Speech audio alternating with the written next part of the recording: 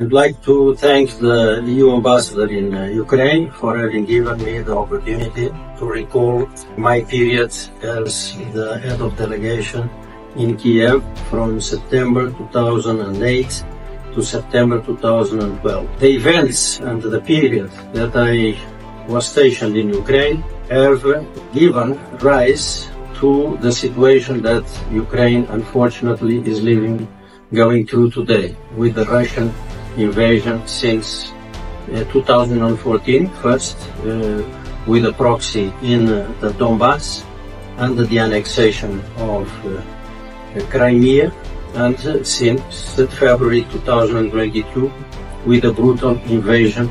Ukraine, more than any state in Europe, has demonstrated its commitment to sharing the same values as the European Union and to be part of the European family. They don't want to go back or to be annexed by Russia to live in the so-called Ruski Mir of corruption and despotism.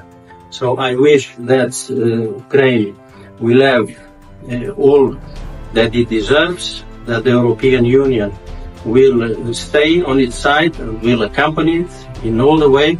Best of luck to Ukraine, all the Ukrainians. Slava Ukraine!